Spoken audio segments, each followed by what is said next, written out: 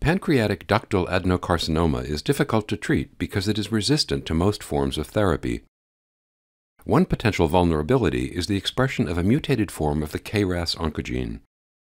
Researchers recently examined whether adoptive cellular therapy, with T cells engineered to express a T cell receptor targeting a common hotspot mutation in pancreatic cancer, could elicit tumor regression in a single patient.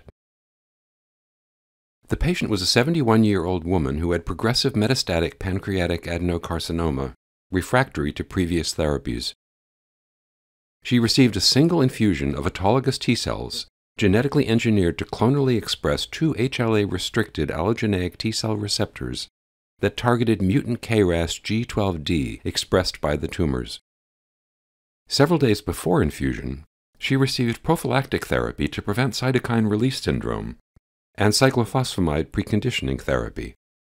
Beginning 18 hours after infusion, she received high dose interleukin 2 to support the expansion of the infused T cells. One month after T cell infusion, computed tomography showed regression of the patient's metastatic lung lesions. At six months, tumor regression was ongoing, with an overall objective partial response of 72%. Engineered T cells constituted 2.4% of all circulating T cells six months after infusion.